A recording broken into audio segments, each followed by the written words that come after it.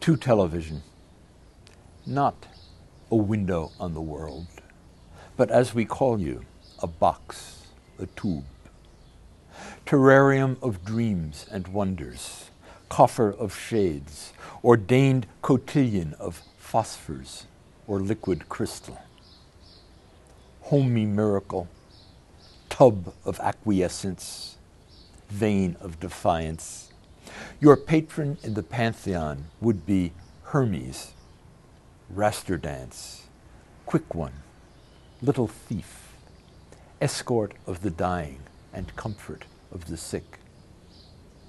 In a blue glow, my father and little sister sat snuggled in one chair watching you. Their wife and mother was sick in the head.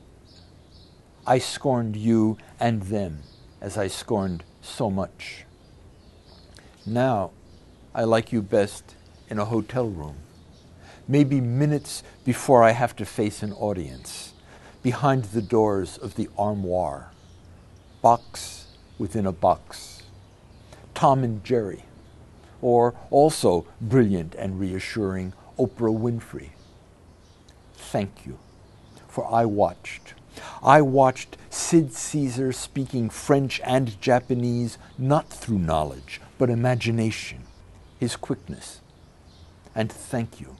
I watched live Jackie Robinson stealing home, the image, O strung shell, enduring fleeter than light, like these words we remember in.